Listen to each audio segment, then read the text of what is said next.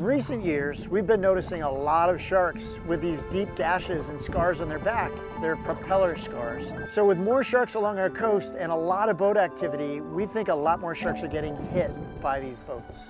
So one of the things we've learned using some of our technology is that during part of the day, sharks actually go into what we think is like a sleep or resting state. And that resting state is either swimming in a really slow circle or swimming very slowly in a straight line. And at times we're able to drive right up next to them and jab a tag in them, and it almost seems like we wake them up. So we know based on our technology that these sharks are cruising around these beaches.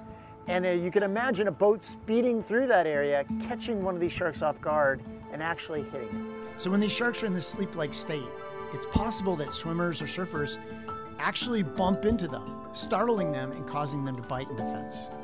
So if you're out swimming and it's really murky, you should be careful because those sharks, if they're in a nap-like state and you startle them, they might defend themselves by lashing out.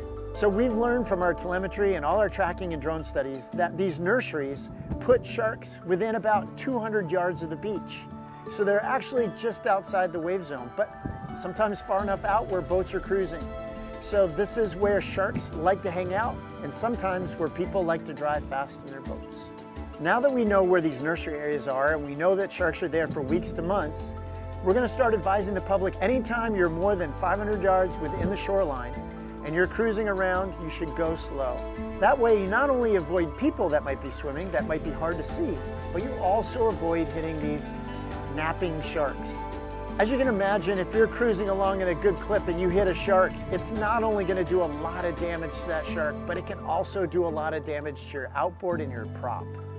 So now that we know where these nurseries are and you know where the sharks are, just by slowing down, you can help keep sharks safe and your outboard running.